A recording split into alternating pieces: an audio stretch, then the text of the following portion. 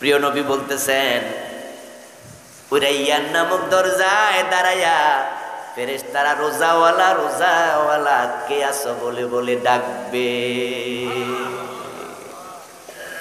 আপনারা যারা মহাখালীতে আমাদের যে বাস স্ট্যান্ড আছে, ওখানে গাড়িতে ওঠার জন্য গেছেন, আপনারা কিশোরগঞ্জ আসবেন, কেউ ভৈরবে যাবেন।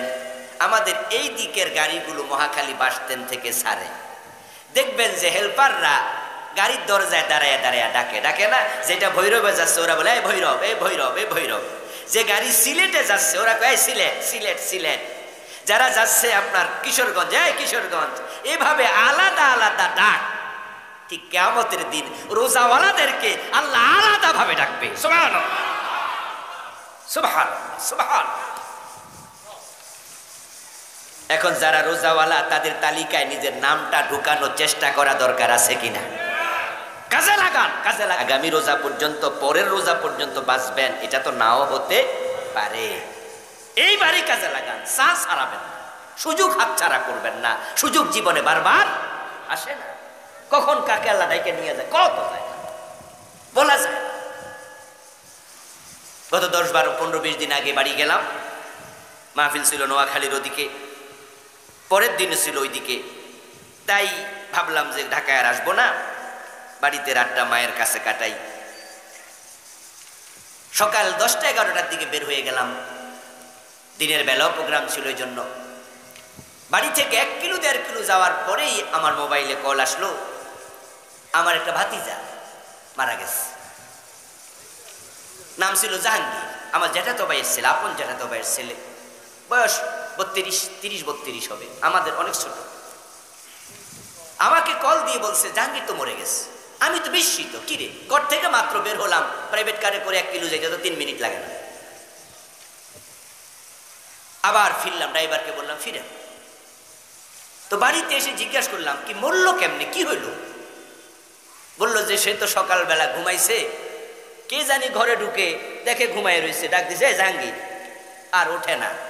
পরে দেখে যে নাই। অথচ আমার তার দাদা, আমার জ্যাঠা উনার বয়স একশো বছর বেশি হবে। আমরা ভাবছি আজরাইল উনার কাছে আসবে। উনি চোখেও দেখে না, এখন অন্ধ হয়ে গেছে আমার জেঠা। উনার যাওয়ার সময় হয়েছে। উনি নিজেও আজরাইলকে খুঁজতেছে। কারণ অন্ধ মানুষ চলতে পারে না, ফিরতে পারে না, কষ্ট হয়। মনে মনে ভাবছে, গেলেই তো বাঁচি। কিন্তু আজরাইল উনাকে খুঁজলো না, নাতিকে নিয়ে গেল। দুনিয়াতে আসার সিরিয়াল আছে, যাওয়ার কোনো সিরিয়াল নাই। এই রোজাটাকে কাজে লাগান। আসতেছে অনেক বেশি সৌগাত নিয়ে। অনেক বরকত। সুবহান আল্লাহ সুবহান আল্লাহ আমার বন্ধু, তাহলে আমাদের প্রস্তুতির প্রথম পর্ব হলো গুণা থেকে মুক্তি। যে গুণাগুলো অন্তরে আছে, সেগুলো থেকে আমরা মুক্ত হব। তাও ব্যস্ত ফার করে গুণা ছেড়ে দেব। আল্লাহর কাছে ক্ষমা চাইব। কলবটাকে তাকুয়ার জন্য প্রস্তুত করব এবং সিদ্ধান্ত নেব, এ রোজা থেকে আর কোনো গুনার কাজ করব না। আমার বন্ধু, আপনারা যারা গুনার সাথে জড়িত, যে গুণাটা আপনি করেন, ওইটা কিন্তু আমার ওয়াজ দিয়ে আপনাকে আমি বিরত রাখতে পারব না। যেমন যারা সিগারেট খায়। এখন সিগারেট খাইয়েন না, আমি যতই কই যদি আপনি সিগারেট না ছাড়েন, ওয়াজে কাম হলো না। কিন্তু আপনি যদি এখনই সিদ্ধান্ত নেন, আর কোনোদিন সিগারেট খাব না, এই সিদ্ধান্ত নেয়ার তৌফিক, অধিকার আপনার আছে না নাই? তাহলে গুণা থেকে বাঁচতে পয়সা লাগে না। যারা আপনারা নাটক, সিনেমা দেখে অভ্যস্ত আছেন, জি বাংলা স্টার জলসা নিয়মিত ভারতের সিরিয়াল দেখে এমন লোক আছে না নাই? আলহামদুলিল্লাহ, আমি তো জীবনে দেখিয়ে না। তা আমার কে বাধ্য করছে? তা আপনি দেখেন কেন? আমার মতো আপনি সিদ্ধান্ত নেন, দেখব না। ইজি বরং অনেকে তো আছে এমন পোক। সিরিয়ালের এমন পাগল, রাতে মিস হইলে সকালে কাজা করে। রাতে মিস হইছে, পরের দিন খোঁজে যে কোন জায়গায়টা আছে। যদি খুঁজা না পায়, তাহলে মোবাইলে ঢোকে। এটা আবার ইউটিউবে আছে কি না খুঁজা নেয় সিরিয়ালের মিলাইতেছে। কোন জায়গা যেন মিস হইয়া না যায়। গুণা থেকে বাঁচার জন্য আপনার পার্সোনাল সিদ্ধান্ত এনাফ আমি এখন থেকে আর নাটক, সিনেমা দেখব না। এমন সিদ্ধান্ত নেওয়ার সুযোগ আছে না নাই? এই তো গুণা থেকে বেঁচে গেলেন। ব্যাপার না।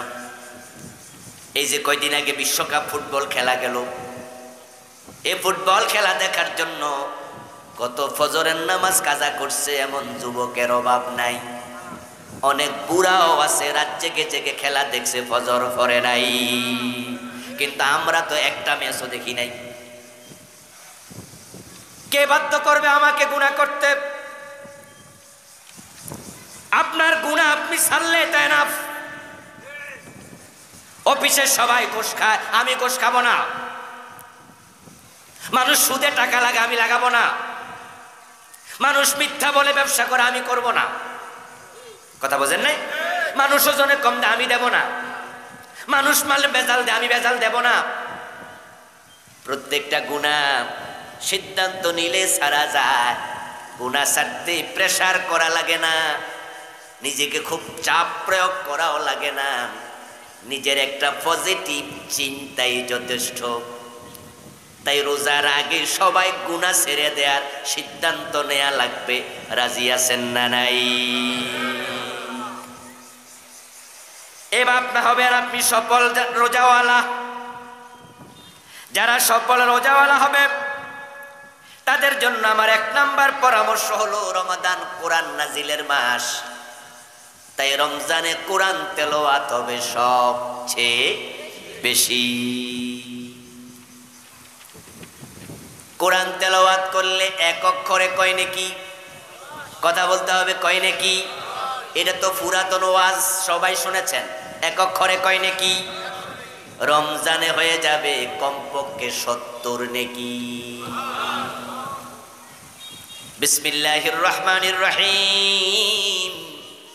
একবার পড়লে নেকি হয় একশো নব্বইটা। কারণ এখানে অক্ষর আছে উনিশটা। রমজান মাসে যদি বিসমিল্লা একবার পড়েন, একশো নব্বইকে সত্তর দিয়ে পূরণ দেন, নেকি কত হবে? এটা হলো সর্বনিম্নটা। সর্ব উপরটা কত আল্লাহ ছাড়া কেউ জানে না। কারণ যে আয়াত আল্লাহ তাআলা বলছেন, মানুষ যখন দান করে, কামাতালি হাব্বাতিন আনবাতাত সাবআ সানাবিল ফি কুল্লু সুম, ফি কুল্লি সুম্বুলাতিন মিআতু হাব্বা। একটা সওয়াব 700 গুণ হয়, তারপরে বলছে আল্লাহু ইউদাইফু লিমান ইয়াশা। 10 থেকে 70 70 থেকে 700 তারপরে আল্লাহ কয় আমি যাকে চাই তাকে আমি এমন বাড়াই যেটা সে কল্পনাও করতে পারে নাই। রমজান মাসে কোরআন তেলাওয়াত হবে সবচেয়ে বেশি, কমপক্ষে এক কত এখন প্রশ্ন হলো, যারা পারেন না, তাদের জন্য কি হবে? তাদের জন্য আমার পরামর্শ, আপনি কোরআন শিখুন, রমজানকে কোরআন শিখায় কাজে লাগান। আলাইহি ওয়াসাল্লাম বলেছেন ফারিদা আলা কুল্লি মুসলিম। কোরআনের মৌলিক এলেম শিক্ষা করা সকল মুসলমানের জন্য ফরজ। লাইসা শাইয়ুম মিনাল কুরআনি কাল বাইতিল খারিব যে ব্যক্তি কোরআন শিখে নাই, যার কলবে কোরআন নাই, তার কলবটা শয়তানের আখড়া সারা বাড়ি। যেই বাড়িতে মানুষ থাকে না, এক সময় ছিল, এখন ঘরটা অধমুখে পতিত ব্যঙ্গে সুরে মাটির সাথে লেগে আছে, ওই ঘরের মাঝে থাকে তেলাপোকা, ঠিক না? ইঁদুর, টিকটিকি, সাপ, দুষ্ট জিন, আল্লাহর হাবিব সেই উদাহরণ দিলেন। আমার সামনে আপনারা যারা বসা, যাদের কলবে কোরআন নাই, যারা কোরআন তেলাওয়াত জানেন না আপনার কলবটাকে রাসুল বলছে, সারা বাড়ি। আপনার কলবটা ভালো কলব নয়। এই জন্য আপনার কলবে আপনি কোরআন ঢুকান। বলবেন, হুজুর, কোরআন শিখতে পারবনি অনেকে তো বলে, এটা কঠিন। আমি সুস্পষ্ট ফতুয়া দিচ্ছি। ভালো করে শুনুন। ওয়াজ করছি বলছি না, ওয়াজ তো এতক্ষণ পড়তেছি। এটাকে আলাদা করে বললাম ফতুয়া দিচ্ছি। ফতুয়া হলো যে ব্যক্তি কোরআনকে কঠিন বলবে, সে কুফরি করল ইমান হারিয়ে চলে গেল। কোরআনকে কঠিন কিতাব মনে করা কফর। আর যে কফরি করে তার ইমান চলে যায়।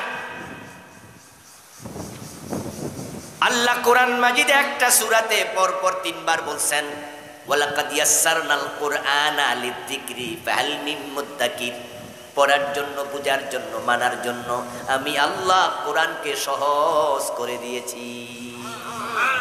কে বলেছেন? একটু জোরে বলুন না, কে বলেছেন? এবার একটু আওয়াজ করে বলুন, কোরআন কঠিন না সহজ? বলেছেন কে? তাহলে কঠিন মনে করলে তিন আয়াত অস্বীকার হয়ে যাবে। এবং কোরআন যে সহজ কিতাব তার প্রমাণ তো ভুরি ভুরি। আমার আল্লাহ তো মিথ্যা কথা বলে না। ঠিক না আল্লাহ কোনো মিথ্যা কথা বলে না। তার ভুরি ভুরি প্রমাণ আছে। পাঁচ বছরের বাচ্চা সাত বছরের বাচ্চা তিরিশ পাড়ার হাফেজ এমন আছে না নাই? চোখ নাই জন্মান্ধ অথচ তিরিশ পাড়ার হাফেজ এমন হাফেজ বাংলাদেশও আছে কয়েকশো। অন্ধ হাফেজ আছে মুফতি কাজী ইব্রাহিম হেফেজাহুল্লাহ জামিয়া সাবেক হেড ছিলেন এই যে কয়দিন আগে জেলখানা থেকে মুক্তি পাইছে কিছুদিন ধরে নিয়ে রাখছিল জেলে উনার মুখে আমি নিজে শুনলাম উনি বলছেন তিনি মাত্র ছত্রিশ দিনে তিরিশ পারা মুখস্থ করে নিয়েছেন এরপর এটা কঠিন কিতাব বলবেন আপনারা যারা কোরআন পড়তে পারেন নাই, রমজানের সিদ্ধান্ত নেন, আমি কোরআন শিখব।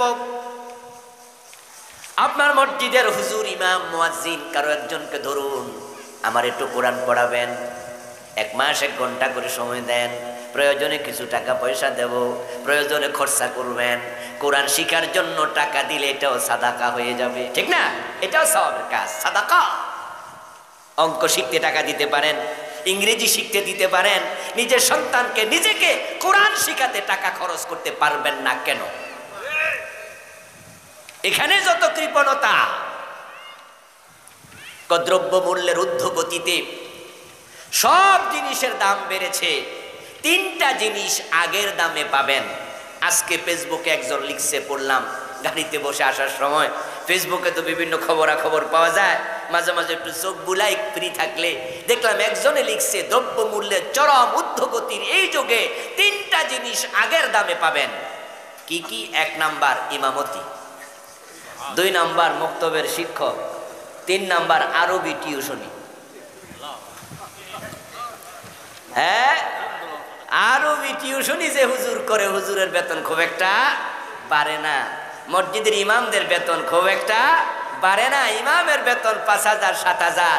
এটা পাঁচ বছর আগেও ছিল, এখনও পাঁচ, সাত হাজারেই আছে। অথচ মাছের দাম, ডিমের দাম, তেলের দাম দ্বিগুণ হয়ে গেছে, ঠিক না যাই হোক, এটাই জাতির জন্য হতভাগ, হতভাগ্যর কাজ, দুর্ভাগার কাজ, যে আমরা আলেমদের যথাযথ মূল্যায়ন করতে পারিনি। আবার সৌভাগ্যের ব্যাপার হলো, কম দাম হওয়ার কারণে গরিবরাও কোরআন শিখার সুযোগ পাচ্ছে। এটা হলো পজিটিভ দিক। হুজুরকে বলেন, আমাকে কোরআন শিখাবেন? কোরআন শিখা ছাড়া আমি মরবো না।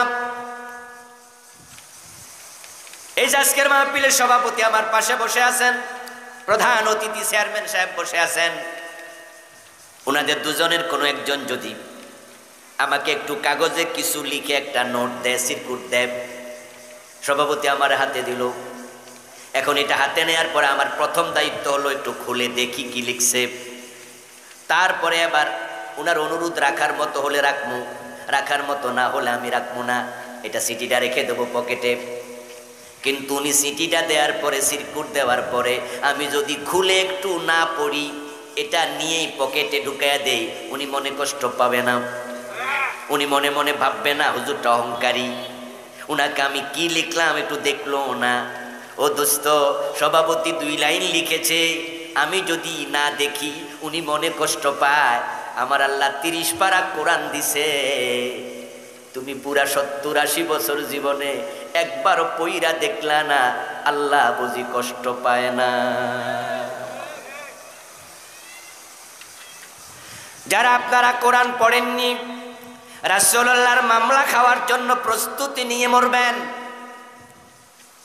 অথচ সব মুসলমান রাসূলের সুপারিশের জন্য আশা করে বসে আছে। রাসূলুল্লাহ সুপারিশ করবেন উম্মতের জন্য এটা হাদিসে আছে আর কিছু উম্মতের বিরুদ্ধে মামলা দেবেন এটা কোরআনে আছে وقال الرسول يا رب إن قوم اتخذوا هذا القرآن مهجورا নাউজুবিল্লাহ পড়েন এটা নাউজুবিল্লাহর আয়াত এটা সুবহানাল্লাহর আয়াত না আল্লাহ বলছে, আমার রসুল, সেদিন বলব আমার রব, আমার জাতি, আমার উম্মত। এই এই লোক, এ উনি উনি উনি নাম ধরে ধরে বলবে, তারা কোরআনকে সেরেছে, পরিত্যাগ করছে মানে নাই, শিখে নাই, আমি মামলা দিলাম, তুমি বিচার করো। এ কোরআনের জন্য আমি দাঁত ভাঙছি। আমি দাঁত দিয়েছি।